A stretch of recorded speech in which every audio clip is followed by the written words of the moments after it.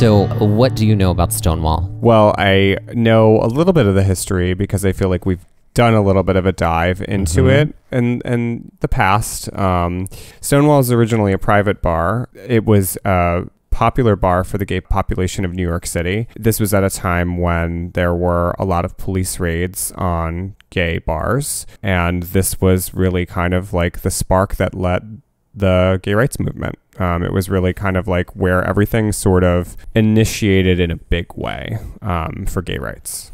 Great. And what I knew about Stonewall up until today, it was like the the riot that like set gay history into motion, Modern day gay history. modern day gay Yeah. history. It also corresponded with the death of Judy Garland and like Oh, I didn't know that. her she died and like RuPaul said this on his show on Drag Race uh, that she had died and her wake had been earlier that day. Oh, So like there was this sort of correlation between those two oh, things. that's something I just learned right now. So thank you. so anyway, that's that is something that I knew. that brings us to today's Pride Mix. Today on Pride Mix, we're going to be looking at Storme DeLarverie. But in order to do that, we need to shed some light on what's actually known about that night at the Stonewall Inn in New York's West Village. So let's begin with the idea that gay rights started at Stonewall. Um, it's not accurate, and here's why. Uh, Stonewall happened in 1969. So long before this, there were many groups and organizations that were actually fighting for gay rights, which is kind of like what we hinted at in our cold open. Right, exactly. Right. We say gay rights because that's the language they used at the time. There were many groups and organizations formed that were fighting for this. Examples include uh, the founding of the Mattachine Society, founded by Harry Hay in Los Angeles in 1951. In 1965, activists in Philadelphia peacefully took to Independence Hall on July 4th with signs to protest the treatment of homosexuals.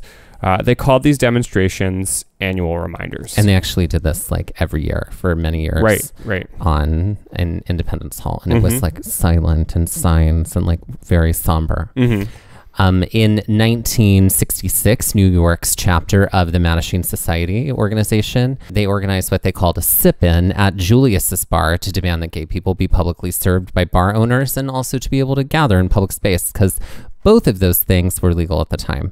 Other things that were illegal at the time include cross-dressing. Sodomy in New York at the time was no longer a felony, it was now a misdemeanor. Well, because there were sodomy laws all across the country Right. for a long period of time. Right. Um, yeah, and the sip-in at Julius's was a way for everybody to kind of show up and just announce that they were gay at Right. the same time to basically see what would happen. The demonstrations outside the Black Cat Bar in LA in 1967, which peacefully protested police brutality and discriminatory laws. Also, a demonstration in front of the Pentagon in Washington, D.C. around the same time to fight for gay people to be able to serve in the military. Also, there are many other examples, and we encourage you to do your research as well. And then there was the night at Stonewall Inn in June of 1969. And since that evening had gained some national media attention, activists and organizers chose to capitalize on the attention.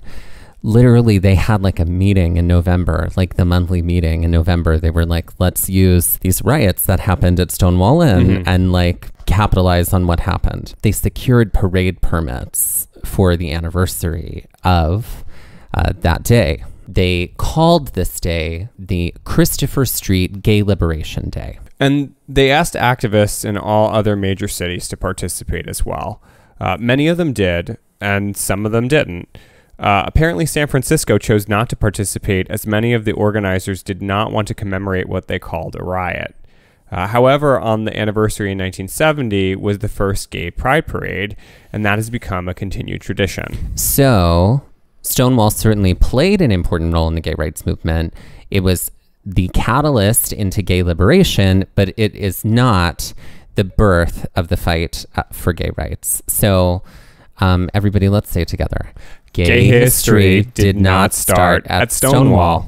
We would like to cite our sources for this info and encourage you all to research as well. But specifically, we'd like to cite the LA Conservancy's article on the Black Cat Bar, the article The Stonewall riots didn't start the gay rights movement by Gregor Matson, published on JSTOR Daily. And before the Stonewall uprising, there was The Sip In by Jim Farber, published in the New York Times. Real quick, let's talk about the Judy Garland connection. Um, even RuPaul mentioned this on Drag Race, which is what Dusty had said earlier. Some say, even some Stonewall veterans, that many gay people had attended Judy Garland's wake earlier in the afternoon and then had gone to Stonewall as a gathering place afterward. However, the only place where there was a published connection was only one periodical, and the article was entitled Too Much, My Dear, uh, by a right wing journalist named Walter Troy Spencer. Here is what the beginning of the article reads a trigger warning for any of our gay listeners. The combination of a full moon and Judy Garland's funeral was too much for them, Dick Neuweiler said the other day, assessing the cause of the Great Faggot Rebellion.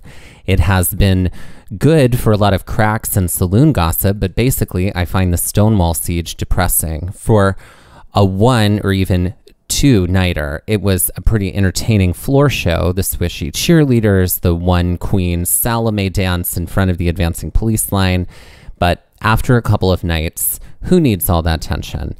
I sure don't want to have to run some gauntlet every night just to quietly slip into my friendly neighborhood saloon. End quote. Okay, so let's talk about this connection between Stonewall and Judy Garland. Okay, when RuPaul said this on his show, I was like, oh, I had never heard that before either. Mm-hmm. But I was like, I personally understand what it means to be like obsessed with a female singer. Right. You know, that's amazing. There are many. We have we have many Judy Garlands today. You know what I mean? Right, right. Um, but when I heard that, I was like, huh. I don't know, how, like if I would like associate those two things together.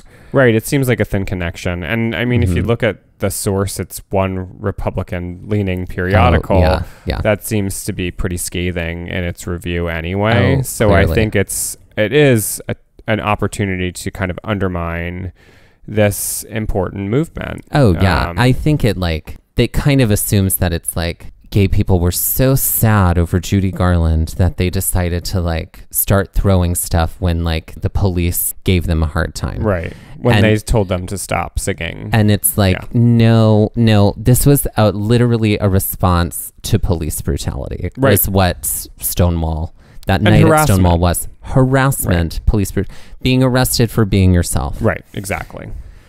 So, So let's talk about the brick. Um, there are many things written down and said uh, that there is one person responsible for throwing the first brick. Uh, in order to talk about this, we have to talk about the nature of riots. Some people claim that Stonewall was a riot. Some people claim the word is inaccurate. Uh, they prefer rebellion or uprising. Uh, but what we do know is that there were a lot of people there that night, and things were definitely thrown. Uh, no one really knows where the bricks came from. They do. All, it is sort of like universally agreed that it was a violent evening. Some say that there was a construction site next door. Some say that they had never heard that before. Some say that rocks were thrown that they found on the streets. Some say it was a shot glass. But it is safe to say that it was big, involved a lot of people, and even the people who were there can't really identify a defining moment that incited everything. And to that end, Does it really matter? does it really matter? Does it really matter exactly? like you know what I mean? Like uh, when it's a giant group of people together, really it's like the group did the thing. There's not like one person in the group that made the group suddenly turn into something else. Right. It's You know not a I- school project, you know, where Right. the type A personality takes the lead. Exactly. Right. Now, all that said, um, there are a number of accounts that, according to the New York Times, a gender nonconforming person in a physical fight with the police that night screamed out, What are you doing? Why are you just standing there? Why don't you do something? So this person was literally being beaten up by the police and then cried out these words. And many do credit that moment as an inciting incident. And some people say that that was Storme DeLarverie. Uh, we want to also credit the New York Times piece of video journalism entitled The Stonewall You Know is a Myth, and That's Okay by Shane O'Neill for the facts you heard from the previous segment. Now, the New York Times refers to the person in the fight with the police as a gender non-conforming person. And I think the intention behind that was to say that this person presented androgynously. And based on all of our research, Storme DeLarverie identified as a lesbian who used she, her pronouns. She is often cited for throwing the first punch at Stonewall, I say with air quotes, like um, live in, in studio here.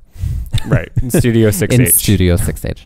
And is also sometimes referred to as the Rosa Parks of the gay rights movement. She was born in New Orleans in 1920. Uh, she celebrated her birthday on December 24th. Her mother was black and her father was white. She began working as a singer. She said that she tried to do the proper thing and wear women's clothes on stage and women's clothes on the street and got picked up twice for being a drag queen. In 1955, she began working as the MC of the Jewel Box Revue, which was this traveling show, and it was billed as, quote, an unusual variety show. She dressed as a man as the MC, and the rest of the cast, who were all men, dressed as women. She said that there were, quote, 25 men and me. This was like the moment that made her a drag king icon. To speak on the uncertainty if Storme was the person that people remember, Lisa Cannistraci, uh, one of her legal guardians and also the owner of the bar Henrietta Hudson's, that is a staple of Manhattan's West Village, said in an interview with the New York Times Nobody knows who threw the first punch, but it's rumored that she did. And she said she did. She told me that she did.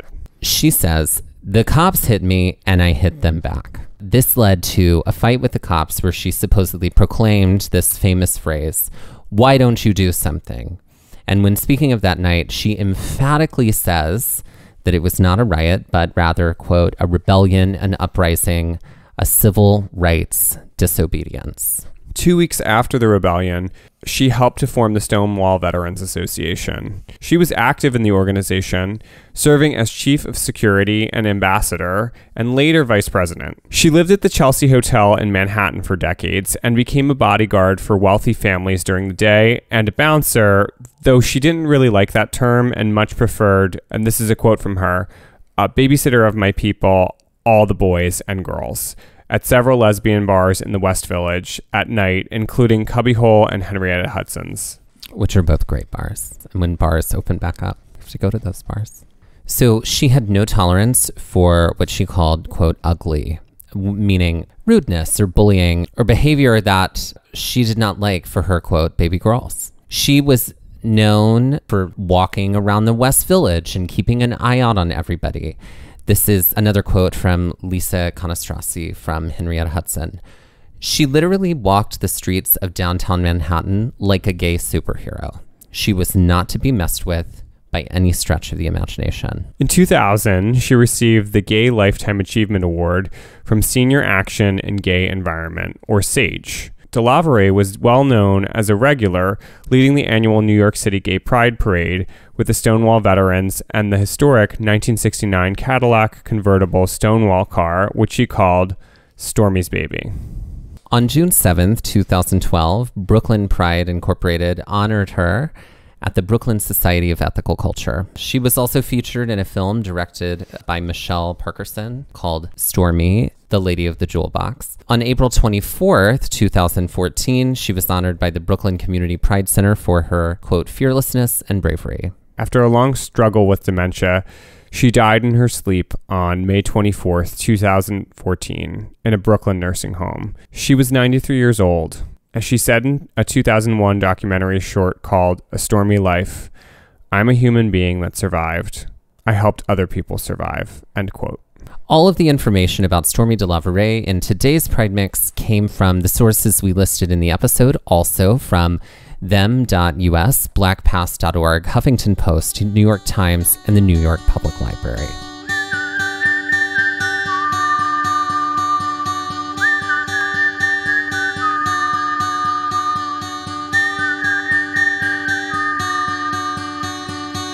This has been Pride Mix by Gaze at the National Parks, the podcast. We're here to remind you to pride early and pride often, and that resilience is always out there. Gaze at the National Parks was created and is hosted by Dustin Ballard and Michael Ryan. To see images from this episode, follow our Instagram at gaze at the national parks. To contact us, email us at gaze at the national parks at gmail.com and visit our website, gazeatthenationalparks.com. That's gaze, G A Z E. All original artwork featured on our website and on Instagram is by Michael Ryan. All original music was written by Dave Seaman and performed by Dave Seaman, Mariella Klinger, and Sean Sklios.